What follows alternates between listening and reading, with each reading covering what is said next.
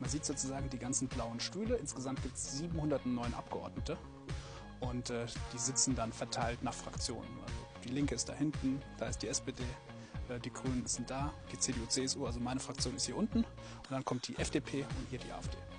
Hier auf der linken Seite sitzt die Regierung und da gibt es einen Stuhl, der ist so ein bisschen höher, der ist ganz rechts. Das ist der äh, Stuhl von der Kanzlerin. Auf der anderen Seite, da haben die äh, Ministerpräsidenten oder die Vertreter der Bundesländer die Möglichkeit, äh, auch mal an der Sitzung teilzunehmen, weil viele Dinge, die wir hier beschließen, müssen die Bundesländer durchführen. Das ist ja dieses komplizierte Gerüst, was wir in Deutschland haben.